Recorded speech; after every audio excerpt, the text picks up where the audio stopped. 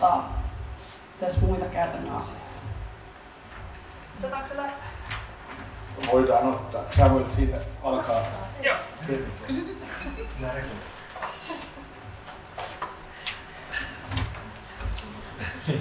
Jees. Riku esittelikin itsensä jo. Mä oon Petra Pakkala ja mä oon tuossa Tampereen vapaa-ajattelijoiden yhdistyksessä hallituksen jäsen.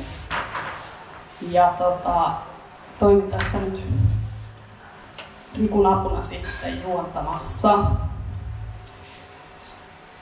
Ja ennen kuin pyydetään... Todellisuudessa Petra on järjestänyt koko tilaisuuden. Ei se näin mennyt. Hyvä Petra, hyvä Petra. Kyllä siihen, kyllä siihen apua tulee.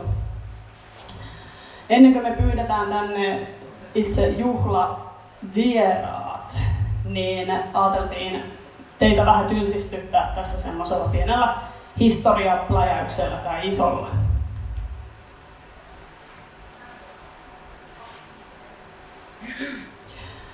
Kaikista uskontokunnista eroaminenhan tuli mahdolliseksi sata vuotta sitten, vuonna 1923.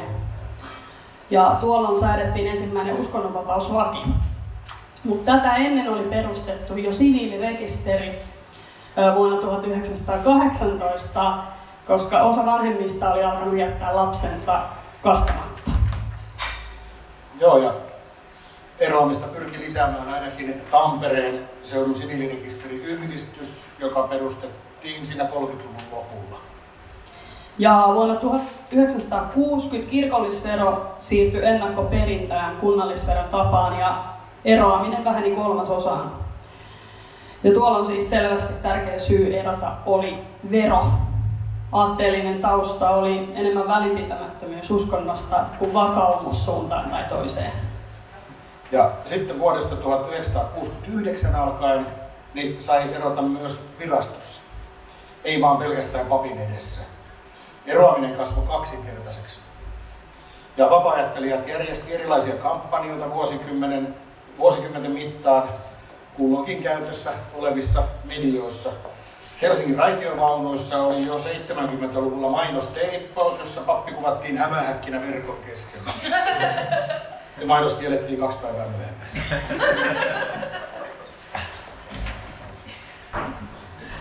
Ää, Jonkinlainen eropiikki nähtiin 1980-luvun alussa, kun kirkolliskokous hylkäsi naispappeuden.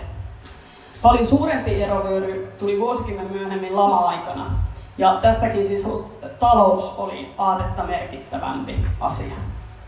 Ja Tampereella jaettiin vuonna 1999 noin 9000 lennäkettä postiluukkuihin, etenkin Hervakassa. Ja siitä päästäänkin sitten vuoteen 2003. No, oli siinä muutama vuosi välissä, mutta hypätään vuoteen 2003. Ja niillä sanoin pyydetäänkin sitten lavalle, taikka tänne sohvalle, Jori Mäntysalo ja Heikki Orsila. Laitetaan aplodit heille.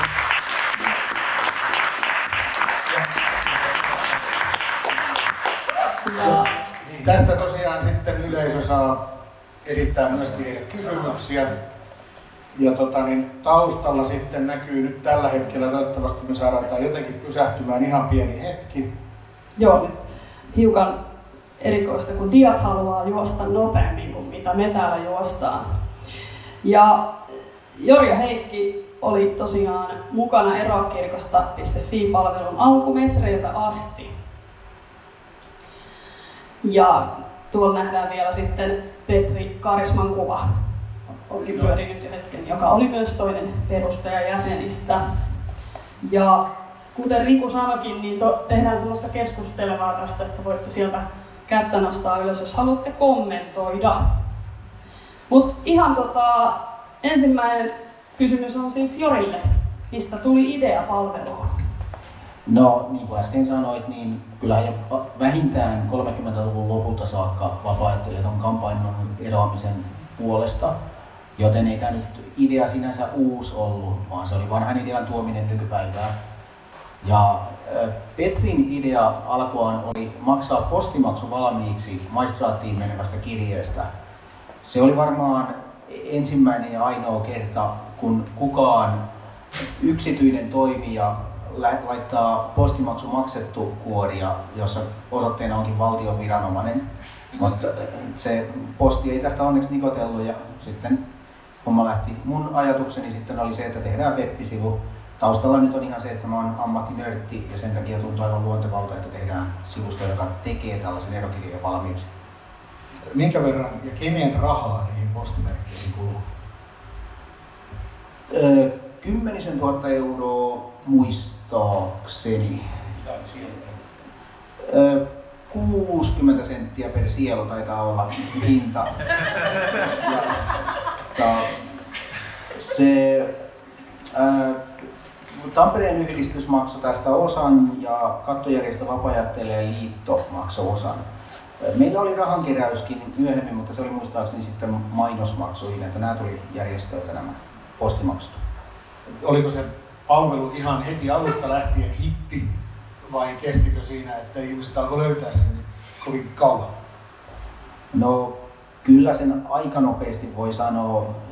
Siinä 2003 sehän perustettiin vasta siellä marraskuun lopulla, että ehti erota tuhat henkeä, mutta sitten 2004 oli jo 10 000 ja siitähän se lähti sitten hyvin nopeasti, että 2005 jo ihan valtaosa eroista tehtiin meidän palvelun kautta.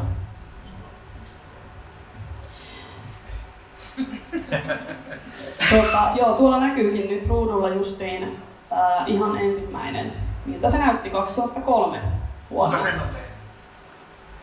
Se on, siis mä ton koodin tein ja Petri teki ulkoasun siihen ja siis apuja saatiin jonkun verran, siis oli erinäköisiä testaajia kommentoijia, mutta oikeastaan kahdestaan merkattiin. No Jori oli Petrin kanssa ihan siinä ihan ensimmäisellä metrillä mukana. Mites Heikki, sä tulit mukaan? No, mä tulin aika sattumalla mukaan 2006. Siinä vaiheessa Harri Filippa oli tehnyt tota uuden, tota, uuden graafisen kirkosta F-liiga. Ja mä sitten uudena henkilönä aatteen palsta tulin käymään Tampereen vapaaehtojen toimistolla ja siellä oli palaveri, jossa puhuttiin tämän palvelun uudistamisesta. Ja mä menin sitten möläyttää, että kysyttiin, että kuka haluaisi tehdä tämän järjestelmän, missä on filmografiikka. Mä menin möläyttää sitten, että jos kukaan muu ei tee tätä, niin mä voin tehdä sen. Tietysti se lankesi mulle sitten semmoista. Mutta onneksi mä onnistuin delegoimaan siitä suuren osan.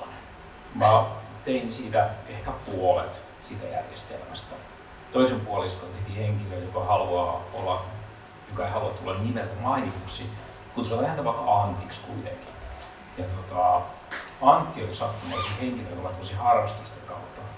Ja hän oli tehnyt tämän virallisen järjestelmän Suomi FI siihen aikaan, jolla pystyi eroamaan kirkosta ainoa virallinen järjestelmä. Ja hän tuli apuun meidän projektiin tekemään sen perusmoottori. Mä sitten tein, tämän, tein tätä varsinaista, miten kutsutaan varmaan business-logiikaksi, eli sielunkartoituslogiikan sitten päälle. Tota, se oli, tämä oli mulla tämmöinen softaprojekti muiden joukossa. Ähm, ihan sattumalta tuli mukaan. Mut, mut äh, ehkä, no, voin puhua myöhemmin lisää. Tuleeko teille mieleen jotain hyviä Imperiumin vastaiskuja? Että minkälaisia juttuja on ollut lehdistössä tai tullut sitten vähän niin kuin oven alta paperiin, mitä olen itsekin nähnyt jossain vaiheessa? No jos mä aloitan kaikkein hauskimmasta, niin liity kirkkoon.fi-sivu avattiin, en nyt muista enää minkä vuoden kesäkuussa, mutta kuitenkin päivänä X. Ja kirkko tiedotti hyvissä ajoin etukäteen, että päivänä X ero liitykirkkoon, liitykirkkoon tota, avautuu. Ja niinpä me sitten tiedotettiin päivänä X-1, että tervetuloa kilpailija. Ja me saatiin tästä aikaan jonkinlainen eropiikki, koska se meni mediaan tieto tästä. Ja sitä ei voinut vastata vastaava liittymispiikki, koska liitykirkkoon fiihän ei ollut vielä auki, koska se auki seuraavana päivänä. Mutta siis onhan sitten ollut kaiken näköistä muuta. Perustettiin esimerkiksi eroakirkoista.info, jossa oli ideana tietysti se, että kun joku googlaa eroakirkosta, niin olisikin päätynyt väärälle sivulle. Ja sitten se oli Tampereen seurakuntien tämmöinen ihan asiallinen yksittäinen pappi perusti sellaisen kuin erokirkosta.fi muistaakseni ja olikohan eroakirkosta.com, jossa yritti sitten torpata tätä ja mitäs näitä nyt muita oli? Mun täytyy sanoa vielä tuohon liitykirkkoon niin se oli jotenkin surullisen huvittava tästä Imperiumin vastaisusta näkökulmasta katsottuna, koska me istuttiin tuolla Tampereen vapaa toimistolla ja ää, se oli itse asiassa Tampereen Linux-käyttäjä paikalla. Ja taisit olla säkin Jori paikalla. Mutta siellä oli myös yksi Tampereen Linux-käyttäjä paikalla. Ja, se, ja hän oli tehnyt liity kirkkoon F kirkolle. Niin koko Suomen uskonnollista operaatiota johdettiin Tampereen linuskäyttäjän toimistossa. Ja se tyttö, joka oli tehnyt liity kirkkoon F ja ne, jotka oli tehty eroa kirkosta F. Sitten katseltiin vähän niiden sivujen tilastoja kummastakin. Jaa, tämmöistä touhua täällä on. Että meillä, on meillä on päässyt näihin kaikkiin järjestelmiin. Voimme vaikka kaikki alas tällä hetkellä. Siinä on niinku kuolotähdelläkin on heikko pisteet.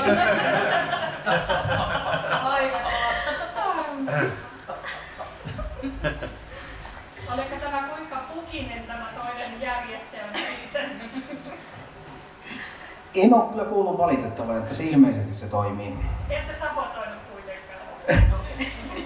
ei, ei, ei sabotoitu, ei tarvinnut, koska oli kuitenkin sellainenkin aika, että kun teki Googlehan liity kirkkoon, niin Google vastasi kysymällä, tarkoititko eroa?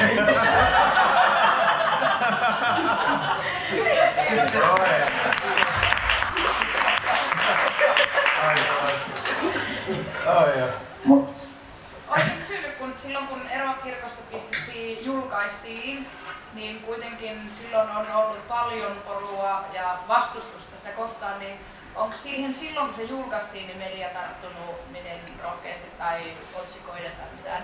No, siitä tota, ihan siinä ensimmäisen vuoden aikana tuli joku yksittäinen juttu. Muistelen, että ensimmäiset mediat, jotka tarttu, oli Etelä-Suomen Sanomat, Yleisradio ja Helsingin Sanomat, mutta en muista järjestystä. Ja ne oli niin kuin sellaiset, että siinä vaiheessa vielä katsottiin ikään kuin suurena ihmeenä, kun oltiin päästy ihan lehtiin asti. Koska ei vapaaehtoijat muutenkaan näkynyt paljon. Se aika oli kovasti erilaista. Mutta se otsikointi oli mielestäni ihan asiallista. Tuosta pitää sanoa sitä näkyvyydestä, niin suuri kiitos ainakin kuuluu mielestäni Petri Karismalle siitä, että hän hyvin varhaisessa vaiheessa tajusi, että meidän pitää olla tiedotuspainotteinen organisaatio. Että ei voi tiedottaa liikaa. Kuuntelijat joko vastaa tai kuuntelee sitä ja tiedä. Mutta jos me ei tiedoteta, niin ei, ei kukaan kuulekaan meistä. Ja se oli iso juttu. Harri tuossa sanoi, että kiitoksia hyvästä puheesta. Sanoi, että kiitteli, että meille ei lähtenyt mopo keulimaan. Se on tota, se ei ole ihan täysin totta. Täytyy sanoa, että mulla, mua, mua kaduttaa yksi asia itseäni. Ähm, mä oon tosi iloinen, että, että mä olin mukana tässä tiimissä. Mielestäni hienon asia erokirjosta Fissä ei liittynyt siihen, että tavallaan niin siihen semmoiseen suoranaisesti toimintaan ja, ja, tota, ja palveluun, vaan, vaan siihen, että meillä oli hieno yhteishenki. Se oli ryhmä ihmisiä, jotka teki asioita. Täällä on paljon ihmisiä tänään paikalla, jotka oli silloinkin paljon. Meillä oli hyvä yhteishenki. Aina joku työnsi eteenpäin. Meillä oli nopeutta. Meillä oli niin periaate, että me ollaan toimintakeskeinen organisaatio. Ja osa siitä oli tiedottamista, osa oli dataamista, mutta me tehtiin koko ajan jotain. Jos ei mitään muuta, niin käytiin kaljalla. jotain täytyy tehdä. Ja, ilman tätä, ei me missään. Kyse on siitä, että hankitaan nopeutta. Ja se, mikä mua kaduttaa, oli, että siinä homoilon jälkeisessä tota, mediahuomiossa, niin mä ehkä mä itsekkäistä syistä jotenkin riitauduin Petrin kanssa ja se mua kaduttaa. Ja mut pahoillani asiasta. Mutta tota, joka tapauksessa meillä oli yhteinen suunta. Ja se oli tärkeintä. Mä voisin vielä yhtenä esimerkkinä Imperiumin vastaiskusta ottaa sen, että aikanaan oli äh, kirkko tiedotti erokirkosta palvelun tietoturvasta. Ja ideana oli tietenkin sanoa, että ei tämä nyt voi, että älkää erokko, tämä ei ole turvallista, mutta tuloksenahan tästä oli tietysti se, että saatiin taas kerran eropiikki, koska niin kuin, mikä tahansa kirkon näkyvyys lisää eroamista. Ja no ehkä vielä, no, vielä tuli mieleen vastaiskuista, niin Kirkkohan teki kantelun eduskunnan apulaisoikeusasiamiehelle siitä, että miten tämä eroaminen, niin että maistraattien pitäisi viranomaisena hylätä tätä kautta tulevat erot. Ja se taustalla oli siis se, että siihen aikaan Helsingin maistraatti toimi eri tavalla kuin muut. Helsinki ei hyväksynyt samalla ta- tavalla helposti eroja. Ja oikeusasiamies halusi, että muut maistraatit toimii niin kuin Helsinki, mutta anteeksi, siis kirkko halusi kantelullaan tämmöistä kannanottoa, mutta oikeusasiamies totesi juuri päinvastoin ja suositteli, että myös Helsingin pitää hyväksyä erot meidän kautta. Eli sikäli niin kuin oikeastaan nämä imperiumin vastaiskot on aina toiminut niin kuin pumerangi, joka tulee päin naamaa. Okei. Okay.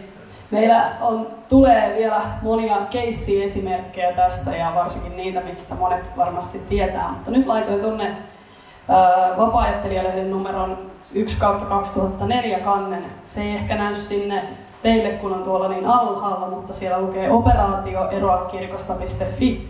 Eli ainakin 2004 oltiin sitten huomattu, että tällainen sivusto on olemassa. Ja siellä oli kuitenkin ihmisiä, jotka oli mahdollisesti jo kymmeniä vuosia, vuosikymmeniä toiminut niin kuin kirkosta eron puolesta, niin miten siellä otettiin tavallaan tässä järjestökentässä vastaan se, että nyt onkin tämmöinen nettisivu? Ei sitä mun mielestä alkuunsa ihan ymmärretty. Maailmahan oli 20 vuotta sitten kovin erilainen. Internet oli niin teknisesti olemassa nykymallissa, mutta ei ollut Facebook, Tinder, WhatsApp, mikä tahansa niin kuin, tavallaan nykyään ymmärretään, että kaikki on netissä. Silloin ei ollut ja ei siinä tavallaan vanhempi, ehkä nyt jo joukosta poissa oleva polvi oikein ehkä ymmärtänyt. Se oli tuon vapaa silloinen päätoimittaja Janne Vainio oli ehkä ensimmäinen, joka selkeästi kirjoitti pääkirjoituksessaan, että nyt ollaan tekemässä jotain suurta. Sitten yritettiin jossain kohtaa saada mainokset myöskin ainakin Tampereella busseihin mutta siinä ei vissiin ihan hyvin käynyt ainakaan niiden mainosten suhteen, mutta kertokaa lisää. Se oli mielenkiintoinen. Taisi olla se Richard Dawkins ja kumppaneiden kampanja tuolla Briteissä tai Yhdysvalloissa, jommassa kummassa just tuli tämä idea, että ne halusi bussin, bussin kylkeen mainoksen. Muistelin, että se oli näin. Ja, ja... No, ähm, siis tämä oli 2009? Niin, 2009. Niin, mutta siis tämä epäonnistunut aivan. Ja, e, eli tavallaan täl, tässä on siis kuva, jota ei koskaan oikeasti ollut. Eli me haluttiin mainostaa Tampereen kaupungin liikennelaitoksen busseissa. Nyt on olennaista, että se on Tampereen kaupungin, eli julkista valtaa. Ja tota, aivan alkuunsa saatiin myönteinen päätös, mutta sitten TKL toimitusjohtajalta tuli ilmoitus, että tämä ei käy. Me valitettiin siitä ensin liikennelaitoksen johtokunnalle, sitten kaupunginvaltuustolle, sitten tästä hallinto-oikeuteen ja sieltä vielä korkeimpaan hallinto-oikeuteen. Tämä prosessi on niin kuin normaali hallintoprosessi, jossa on monta vaihetta ja joka vaiheessa lehdistö kirjoitti, että mitä nyt on tapahtunut. Ja tällä tavalla se oli varmasti ehkä monisatakertainen näkyvyys mediassa verrattuna siihen, mitä oltaisiin saatu sillä, että muutama bussi olisi pyörinyt täällä viikon tai pari. Ja se oli siis, vuosia myöhemmin huomasin esimerkiksi oikeustieteellisen jossain tentissä kysytyn tästä, niin äh, pyydettiin opiskelijoita analysoimaan tenttivastauksessaan päätöksien perusteluita puolesta ja vastaan, että olisiko tämä pitänyt sallia. Eli se oli niin kuin kyllä sillä tavalla jotenkin merkittävä ennakkotapaus. Mutta tosiaan se 2009 on niin mielenkiintoinen vertailukohta, koska siinä ei montaa vuotta ollut väliä ja silloin kuitenkin sallittiin. Tuo oli hyvin mielenkiintoinen tapaus. Mä muistan, että mä sivusta seurasin tätä prosessia ja se oli varmaan ainoa tämmöinen kerta, mikä mulla tulee mieleen, missä ikään kuin meidät koettiin mediassa tavallaan jonkinlaiseksi uhriksi. Me, me ei uhriuduttu, mutta, mutta me oltiin tavallaan niin kuin jollain tavalla, että lehdistö näki jossain määrin, että nyt ei kaikkia kohdella tasapuolisesti lain näkökulmasta. Ja se oli hyvä aika. Niin tuliko tästä, kun sitä uutisoitiin, että sitä ei saanut laittaa, niin siitä ilmeisesti seurasi eropiikki? Äh, joo, siitä seurasi kyllä eropiikkejäkin, joka osittain nähtiin tuohon aikaan vasta jälkikäteen postilaskuista. Mutta mä uskon, että ennen kaikkea se toi koko palvelun tavallaan suuren yleisön tietoisuuteen niin, että luultavasti se on aiheuttanut eroja, jotka ei näy piikkinä. No sitten vähän myöhemmin se, mihin Heikki jo viittasikin, eli se bussikampanja, joka hyväksyttiin, jonka kuva on nyt tuolla taustalla, joka tosiaan perustuu Briteissä tehtyyn juttuun. Joo, tämä oli mielenkiintoinen. Kun mä kuulin tästä kampanjasta, niin mä mainasin hätäpäissäni erokirjostaffiin, jota vastaavalle listalle, että hei, tehdään mekin tämmöinen kampanja. Ja sitten Otto Krons sanoi, että hänellä on idea, mitä voitaisiin tehdä. Ja, ja, tai hän, otti, hän rupesi tekemään sitä. Ja kiitoksia Otto. Tota, se oli, se oli tosi mielenkiintoinen kampanja. Muistan siinä nähneeni aika omasta näkökulmasta sen, miten media toimii. Et oli, oli ne toimittajat yleensä, jotka oli meidän myötämielisiä, useimmat oli ihan välinpitämättömiä tietysti, ja jotkut oli ihan vaan vastaan. Ja se ei, tämä ei sinänsä liity tähän kampanjaan, mutta tässä kampanjassa sattumoisin mua haastateltiin keskustorilla johonkin radio-ohjelmaan, ja siinä se toimittaja oli myötämielinen. Mä puhuin niitä näitä ää, en kovin hyvin ja sitten se toimittaja vaan totesi, koska se oli myötämielinen, että no tätä täytyy pikkusen editoida. se on pois sieltä ne kohdat, jotka ei ollut niin hyviä. Kiitoksia hänelle. Mutta tota, sen, se oli kiinnostava nähdä, että et, et, mitä se käytännössä on toimittajan työ si, siitä tuli jotain näkökulmaa. Joo, jos ei sinne perälle näy, niin bussissa tosiaan luki, että Jumalaa tuskin on olemassa. Lopeta siis murehtiminen ja nauti elämästä. Oliko tähän vielä? Niin siis, toihan pyöri kolmessa kaupungissa ja silloin kolme kaupunkia teki eri päätöksen. Yksi näistä hän ei hyväksynyt tätä alkuperäisessä muodossaan, vaan piti muokata. En muista nyt enää mikä. Mä, mä voin, mä Joo, eli mä oon tosiaan Otto Cruz. Mä tämän, tämän kampanjan tein, koska tämä oli hauskaa. Siis ei ollut mitään suurta, suurta tavoitetta muuta, mutta ajattelin, että tämä on tosi hauska, hauska tapa niin kuin edistää, edistää tätä asiaa ja kopioitiin aika suoraan, suoraan täältä Dawkinsin kumppaneiden britti, brittiversiosta ja tosiaan nämä grafiikat ja muut on hyvin samankaltaisia mitä siinä on. Se tavallaan hyödynnettiin myös sitä, että se oli jonkin verran mediassa se kampanja, se brittikampanja, että siitä saatiin tavallaan just sillä, että toimittiin nopeasti ja päästiin vähän niin kuin mukaan, mukaan siihen äh, liikkeeseen, niin saatiin sitä hyötyä. Ja äh, tosiaan mä en ollut itse, itse tavallaan esillä tässä, että silloinen Lapareiden liiton puheenjohtaja oli, oli tavallaan niin kuin kasvona tässä hommassa, mutta mä olin sitten, niin kuin tein, tein käytännössä kaikki nämä jutut, ne web-sivut ja lahjoitussysteemit ja muut. Tähän tosiaan rahoitettiin lahjoitusvaroin, että tähän ei merkittävästi mitään vapaa rahoja käytetty, vaan ihan annettiin ihmistä avata omat lompakkonsa, joka taas toi, toi niin kuin mahdollisuuden monille sitten osallistua tämmöiseen, tämmöiseen juttuun. Mutta tosiaan Helsingissä tämä meni ihan hyvin läpi, että mä kävin siellä ihan paikan päällä jutteleen Helsingin HSL niin toimarin kanssa ja siellä oli pari, pari juristia siinä mukana tietenkin, kuten aina, aina tämmöisissä mainos, mainoskeskusteluissa kuuluu olla. Ja ei ne, ei ne nähnyt niin mitään syytä olla hyväksymättä sitä, että ei siinä ollut mitään. Mutta sitten me tosiaan Tam- Tampereelle ja Turkuun sitä samaa tarjottiin, mutta se ei sitten oikein, oikein niin mennyt läpi. Ja mä soittelin ensin varmaan Tampereen liikennelaitoksen toimarille kanssa ja se oli, se oli vähän sillä että joo, ei, että he, he vähän niin kuin, että mitä toi Turku tekee. Sitten se oli sille Turun, Turun vastaavalle ja kävi ilmi, että se on joku ihan himo, himouskovainen, että se, se oli ihan, ihan selvä siinä puhelussa, että mikä, mikä on niin kuin motiivi, että tämä ei kelpaa. Ja sitten sit mä tein, tein niin kuin erilaisen mainoksen, jossa ei sitten ollut ihan tämä, tämä teksti, mutta vähän, vähän eri. Niin oli, että Jumalaa ei ole olemassa. Ei, ei se, oli, no se, oli, se oli tavallaan parempi. Tämähän oli suoraan kopio siitä englanninkielisestä, mutta, tota, mutta se sitten kelpasi tosiaan Tampereelle, Tampereelle ja Turkuun. Et siinä tuli, tuli sitten vähän tämmöistä, mikä taas mediassa sitten näkyy, että no ei mennyt, ei mennyt joku mainos läpi ja niin edelleen. Että kyllä tämä, tämä on sillä lailla aina antoisa projekti, että aina, aina kun jotain tehdään, niin aina, hyvin, hyvin, hyvin vaikea tehdä mitään virheitä tässä. Että kaikki, kaikki niin pelaa Millainen oli sitten se läpimenty teksti?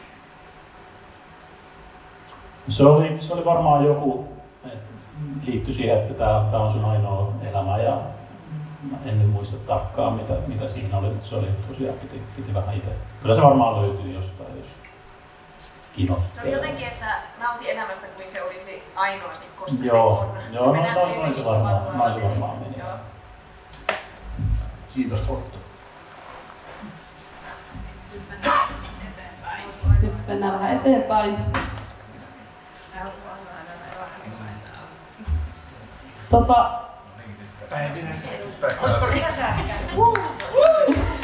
No niin, me päästään päiviin.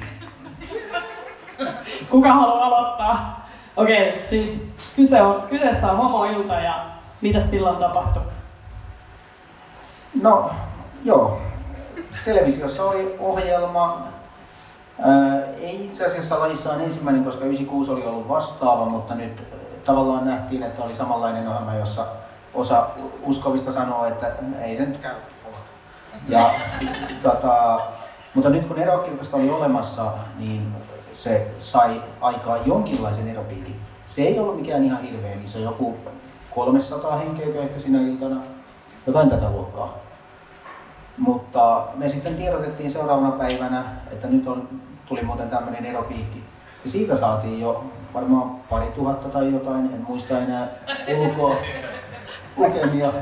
Mutta me tiedotettiin siitä ja kaiken kaikkiaan seitsemän päivän aikana lähetettiin kuusi tiedotetta medialle, jotka käsitteli vähän sitä, että paljonko eri paikoissa on ja mitä on eropalautteita jätetty ja niin poispäin.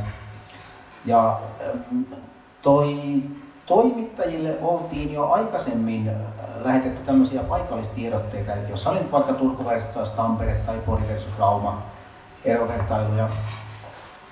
Niinpä vilkkaimpana päivänä meillä oli Kai Torkula silloin tiedottajana ja Kai kertoi myöhemmin, että hän oli aamulla herännyt ja alkanut vastaan toimittajien kyselyihin, että paljonko siellä ja siellä on erottu ja niin poispäin. Ja sitten puoli kuuden maissa oli illalla ehtinyt syömään ensimmäisen kerran. Et sitä, niitä kyselyitä sitten tosiaan tuli, että valtakunnassa ei sellaista mediaa ollutkaan, mikä ei olisi tästä kertonut. Se oli, se oli helppoa aikaa meille. Ja sinä ei tarvinnut toistaa sitä, mitä tehtiin, oltiin tehty jo koko ajan. Tiedottaa ja tiedottaa, mutta se oli ensimmäinen kerta, kun mä huomasin, että tämä toimii myös toiseen vähän, vähän eri tavalla. Että se oli ainoa kerta, kun mä pystyin soittamaan toimitukseen suoraan ja sanoa, että meillä olisi muuten tietoa nyt, että minkä takia ihmiset eroaa.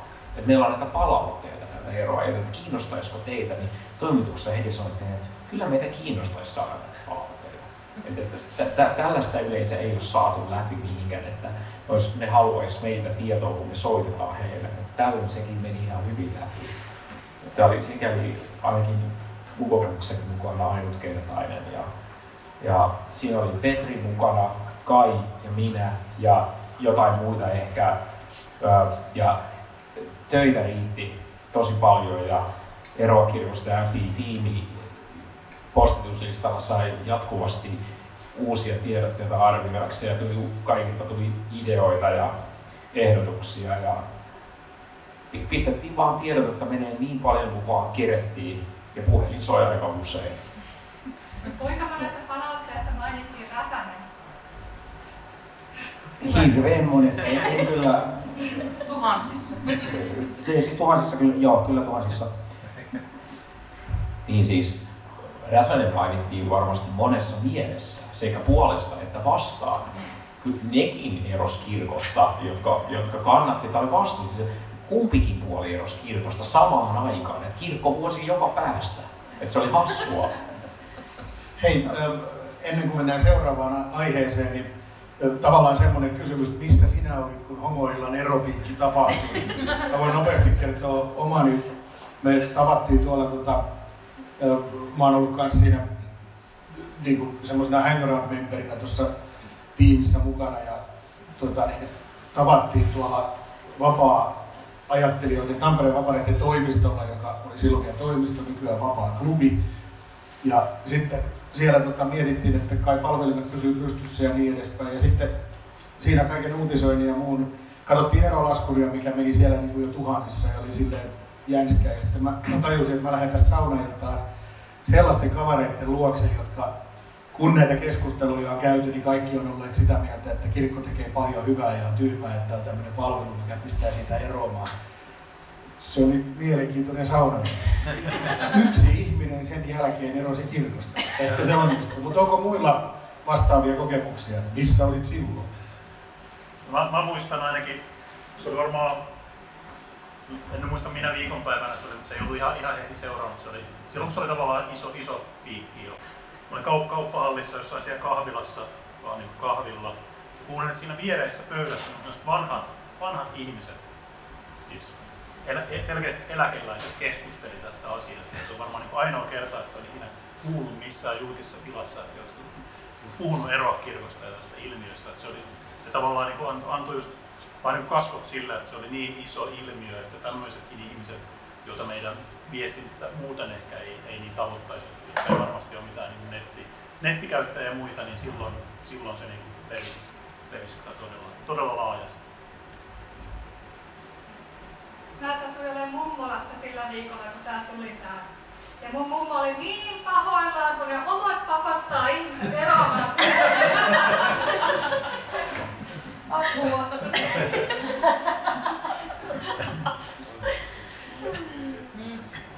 Niin mä voin tuohon vielä mainita, että ää, pelkästään ei, jutut ei tullut meidän tiedottamisen pohjalta, vaan osittain tapahtui jo sitä ilmiöä, että mediat itse kävi kurkkaamassa meidän julkisia tilastoja ja teki sen perusteella seuraavan jutun, jo- joka alkoi niin kiihdyttää itteensä osin jopa ilman meidän myötävaikutusta. Mennään eteenpäin. Päivi sai tarpeeksi sinne näkyvyyttä, vaikka teki ainakin yhden pienemmänkin eropiikin vielä. Mutta sitten ihan niin kuin viime aikojen uutisointiin. Eroa kirkosta.fi on henki toreissaan. Ai ai ai. Jori voi kommentoida tätä juttua, mutta tästä päästään sitten hyvin tähän nykyhetkeen palvelussa. Tota, ensin mainittakoon nyt vielä, että se päivinen pienempikin eropiikki oli kuitenkin 10 000 sielua. Ja melkein muutenkin niin, että milloin vaan Päivi avasi suunsa, niin seurasi eroja. Joo. Mutta tosiaan ei ole mun keksimä otsikko ehkä toi, toi, kuten voi arvata. Itse juttuhan oli sinänsä ihan asiallinen. Eli nykyään Suomi.fiissä on ollut hyvin pitkään mahdollisuus erota kirkosta myös. Mutta se lomake oli aikaisemmin aika monimutkainen. Siinä esimerkiksi kysyttiin, että missä seurakunnassa asut. Ja nythän vaikka Helsingissä pitäisi sitten tietää, että onko tämä nyt Matteuksen vai Markuksen vai minkä seurakunta. Ja seurakuntarajathan menee käytännössä nyt jonkun katujen kaupungin osien mukaan, mutta voi olla niin vastakkaiset talot, joissa kuulutaan eri seurakuntaan. Ja sitten myöskin kaikenlainen sähköinen tunnistautuminen on ollut aikaisemmin paljon vieraampaa, kun nykypäivänähän kaikki veroilmoitukset ja vastaavat tehdään noin pääsääntöisesti sähköisenä. Ja aivan erityisesti nuoremmat ikäluokat, jotka on tyypillisiä kirkosta eroajia, käyttää sähköistä asiointia hyvin laajasti. Ja niinpä meillä nykyään on ohjattu erot pääsääntöisesti Digi- ja väestötietoviraston palveluun, eli siihen suomi.fi-lomakkeeseen. Ja näin ollen meillä jää logiin tieto siitä, että joku on klikannut meitä linkkiä sinne, ja me pystytään siitä arvioimaan sitten käytännössä, että minkälaisia erolukemia tällä hetkellä on, on menossa. Mites DVVltä saadaan myöskin sitä tilastoa, kuinka paljon tällä hetkellä liikenne ohjautuu edelleen eroakirkosta.fi kautta ja kuinka paljon ihmiset menee suoraan suoki.fi? Sitä me ei ihan täydellisesti tiedetä, mutta ilmeisesti jotakin ehkä 15-20 prosenttia DVVn eroista tapahtuu niin, että eroja menee jo suoraan. Alright. Oliko, tuleeko tästä tai sanotaan palvelun tulevaisuudesta muuta sellaista mieleen, mitä? No siis ajatuksena on, että se palvelun eromaatti ehkä pystyttäisiin ajamaan kenties kokonaankin alas ainakin täysi-ikäisten osalta ja jäljelle jäisi kirkollisverolaskuri ja sitten tämä linkki DVVlle ja sitten mahdollisesti yleistietoa siitä, että miten se vaikuttaa kummiuteen tai voiko olla bestman, tämän tyyppisiä, mitä meiltä on kyselty vuosien mittaan. Mielestäni tässä olisi myös mahdollisuus jollekin, jollekin uudelle henkilölle tulla mukaan, koska tota, mä itse ajattelen ainakin, että tota, niin hieno kuin tämä olikin tämä Harri Filpan tekemä graafinen ulkoasu vuodelta 2006, niin mun mielestä voisi tehdä uudenkin vähän modernimmanlaisen sivuston. Ja muuten mä täysin samaa mieltä Jorin kanssa. Mä sanoisin, että se on semmoinen tota, tiedotusalusta, tiedonantoalusta ja kehottaa ihmisiä tekemään oman, omat valintansa ja tietysti sillä biasilla, että erotkaa. Tota, mutta sitten poikkeus on alaikäiset, koska kun DVVn järjestelmässähän ei voi erota nykyään tilanteessa, jossa vaaditaan enemmän kuin yksi allekirjoitus, niin valitettavasti lasten osalta täytyy tulostaa vieläkin paperi. Ja niitä jonkun verran kyllä tehdään meidän palvelussa, ja se osa nyt täytyy toistaiseksi jättää, koska vaihtoehtojakaan ei oikeastaan ole. Tuosta vielä ehkä semmoinen, tässä nyky, nyt taululla olevassa kuvassa on väärä sana. Siinähän pitäisi lukea kirkkoon liitetyt ja kirkosta eronneet. Ja se kirkkoon liittäminen, niin se nimenomaan on mielenkiintoista. Tuossa mitä Jorikin sanoi siitä, että, että se on mielenkiintoista, että jos ihminen on tehnyt valinnan siitä, että hän haluaa olla seurakunnan jäsen, niin kuin meille kerrotaan tuolta kirkon toimesta, niin silti hän ei tiedä, mihin seurakuntaan hän kuuluu. Että se on mielenkiintoinen yksityiskohta. Tuleeko yleisöstä jotain kysymyksiä vai pyydämmekö tuota, niin, tähän seuraavan henkilön lavalle? Pyydetään puheenvuoro yleisöstä.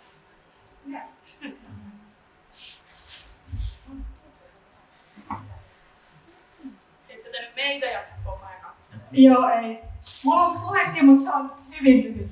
Ja mä voin tutkia lohdutukseksi, että pärjäätte. Tätä pitää.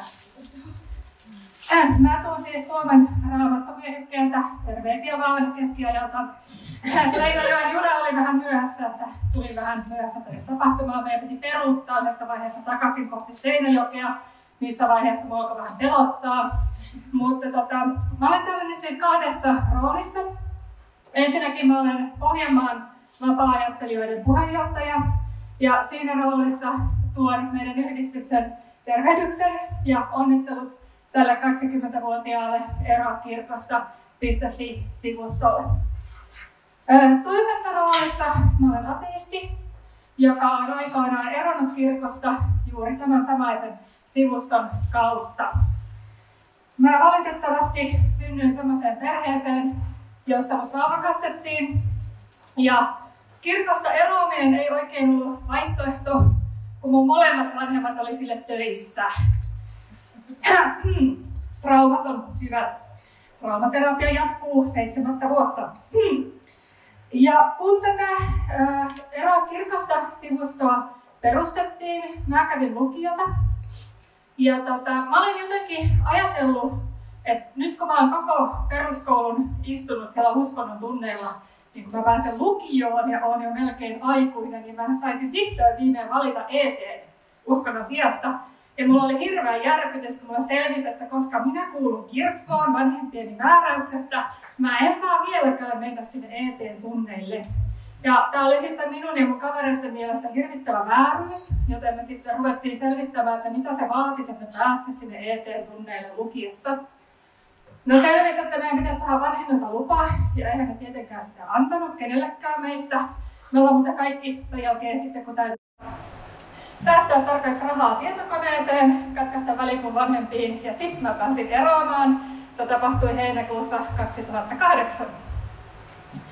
Joten mä haluan kiittää tämän palvelun kehittäjiä siitä, että mun ei tarvinnut mennä mun äidin työkaverille selittämään, miksi mä haluan erota kirkosta, vaan mä pystyin kätevästi menemään nettisivulle ja asia oli paljon helpommin hoidettu sekä mun että suvun rauhan hyväksi. Joten kiitos Jori ja Petrillekin siellä jossain. Paljon kiitoksia. Hän ei nyt tänne valitettavasti päässyt, mutta minulla on tämmöiset pienet muistamiset. Kiitos.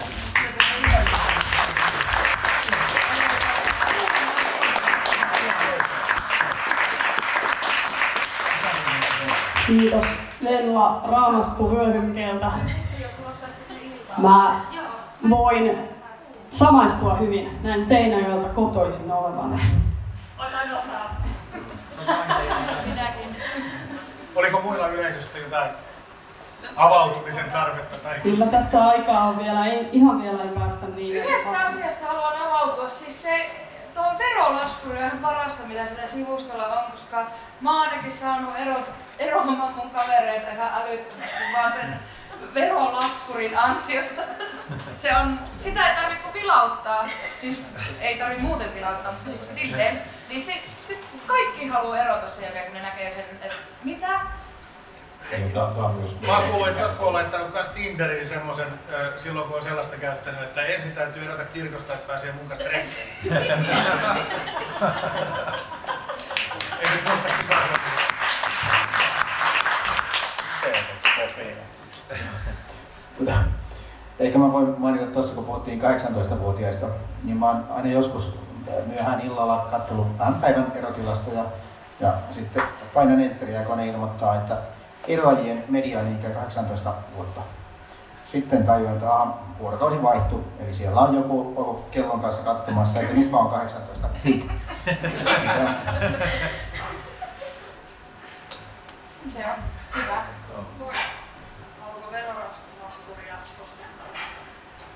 Siis me tehtiin joskus tilastoa siitä, että millä todennäköisyydellä ihminen eroaa, jos on käynyt verolaskuria katsomassa versus ei ole. Ja kyllä sillä ihan merkittävä vaikutus on. Joo, mä muistan tehneeni ihan tätä varten vaan ohjelman, joka analysoi kerrokirjoista ja logitietoja. Se katsoo, se arvioi tilastollista todennäköisyyttä sille, että jos henkilö käy ensin verolaskurissa, niin millä todennäköisyydellä se eroaa versus jos se ei käy verolaskurissa.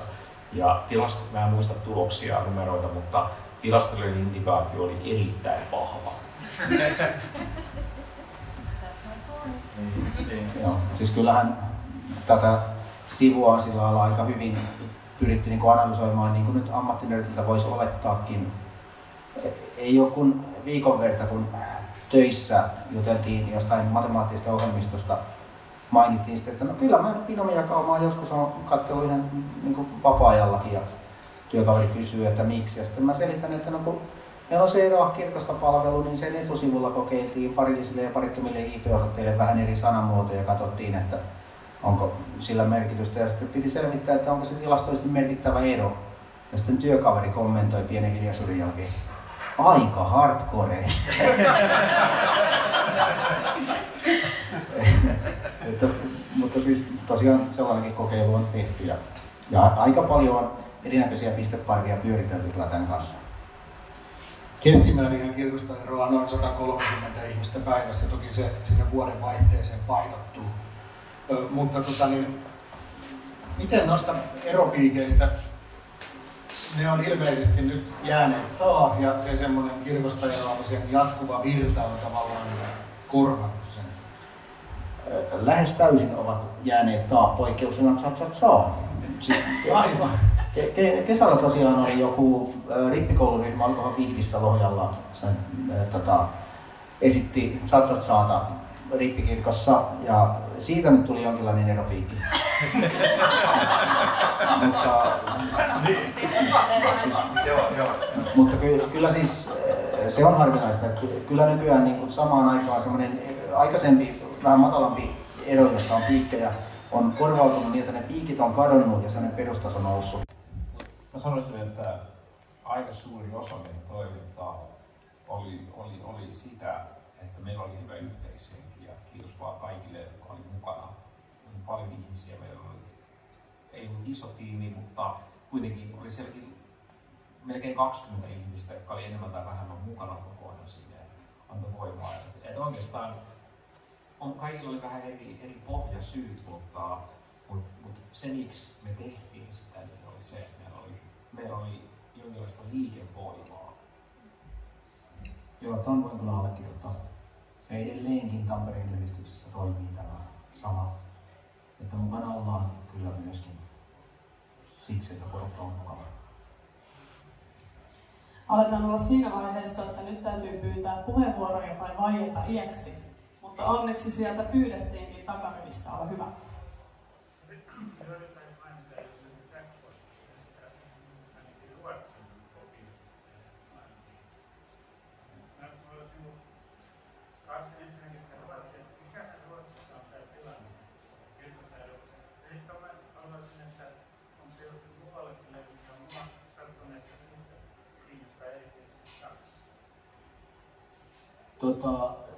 Tarkkaa tietoa mulla ei ole.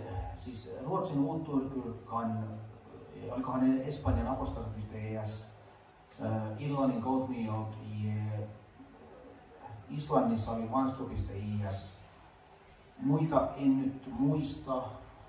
Ja kun kaikkialla ei ole vastaavaa systeemiä, jossa tämä eroaminen ikään kuin onnistuu, Irlanninkin kaupmion.ie piti lopettaa, koska se paikallinen katolinen kirkko ei vaan enää vastaanota kautta eroilmoituksia. Mutta sitten Saksasta en tiedä, siellähän on osavaltiotasolla vähän enemmän erilaisia lakeja kuin Suomi, kun Suomi on niin yhtenäisempi siltä osin. Ja tota, Ruotsissa ollaan Pohjoismaista kaikkein pisimmällä, jos katsotaan koko väestöä. Eli siellä kirkkoon kuuluvien määrä osuus on jotain 50 prosenttia ja mitähän se on päällä, 52, 53, se on tulee hyvin pian vastaan. Toki siellä myös sitten maahanmuuttajien osuus on suurempi, joten mä en tiedä, että jos me otettaisiin vaan nyt jollakin määritelmällä kantaväestö, niin saattaa olla, että päädyttäisiin aika samoihin Pohjoismaissa.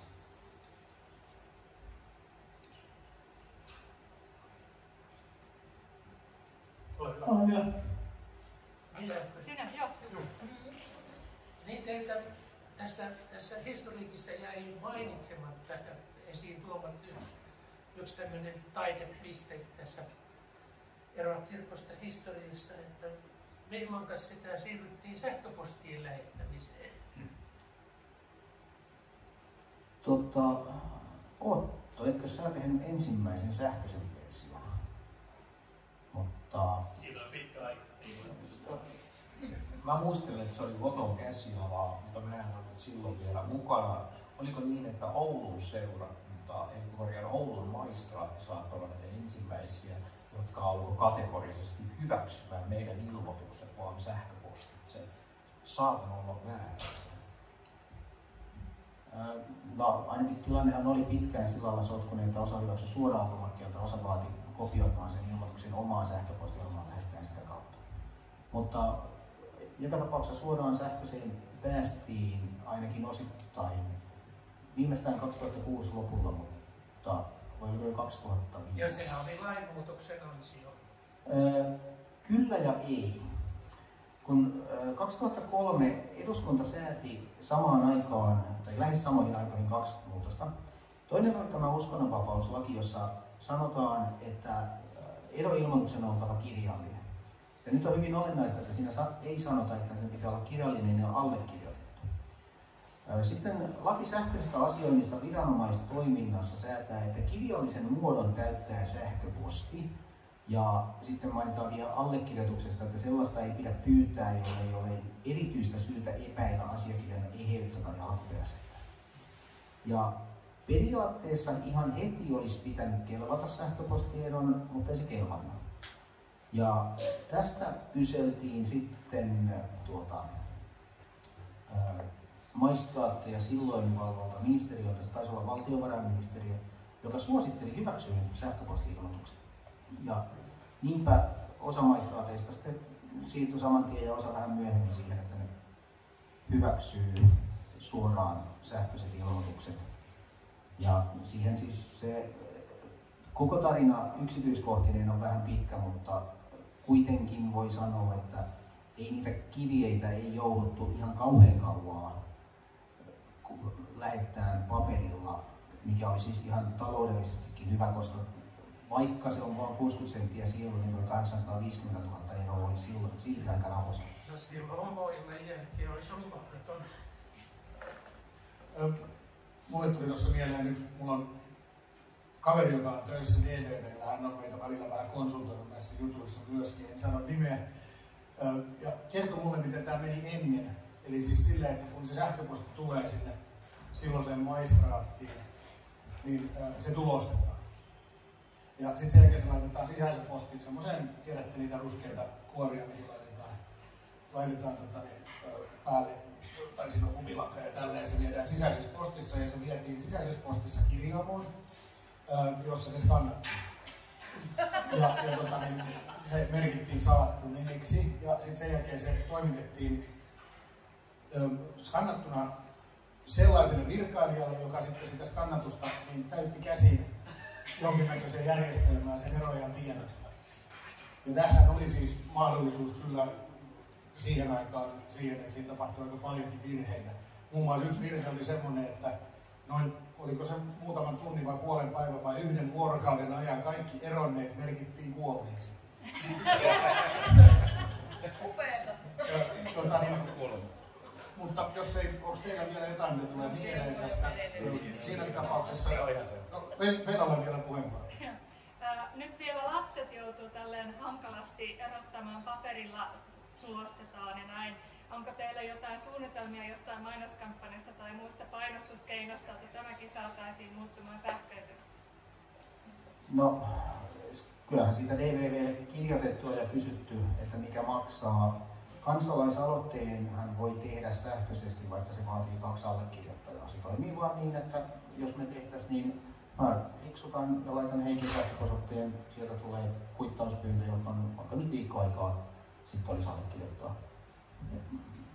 Periaatteessa pitäisi paljon vaatia.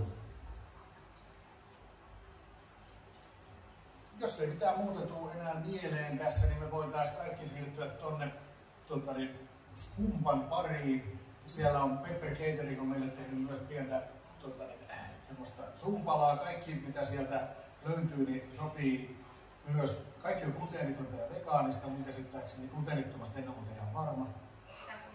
Okei, okay. On siis gluteenitonta ja vegaanista, eli myöskin on maidotonta. Anteeksi. Okei. Okay. Äh, catering-henkilökunta kertoo teille, missä on mitäkin, voitte kysästä. Äh, mutta tota, niin kiitän kiitän tässä kohtaa, kiitämme Joria ja Heikkiä ja tota, niin, ehkä pienten aplodien kerran käydään hakemassa skumppaa, että päästään.